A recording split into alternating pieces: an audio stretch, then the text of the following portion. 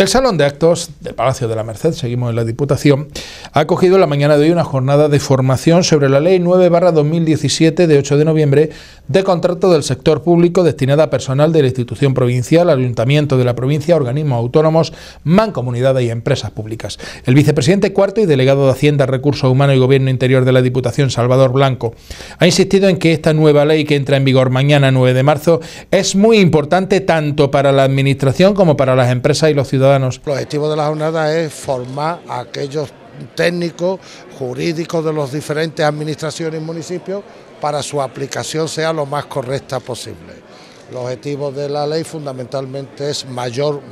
mayor transparencia, eh, en línea con lo que hoy exige toda la normativa comunitaria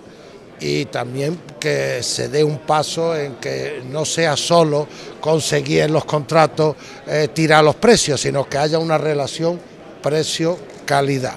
Y para eso eh, es complejo su aplicación, como decía, y contempla cláusulas que se vienen hablando, pero que no terminábamos de eh, articular jurídicamente y plasmarla en una ley, como ahora sí se hace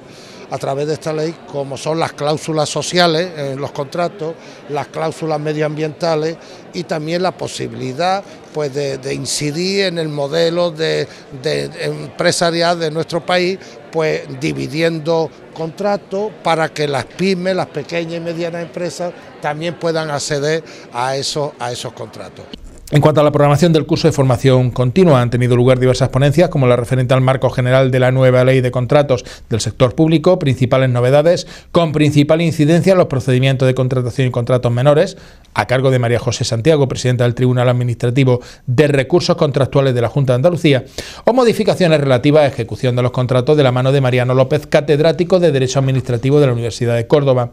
También se ha llevado a cabo una mesa bajo el título Medios propios y entes instrumentales a cargo de Encarnación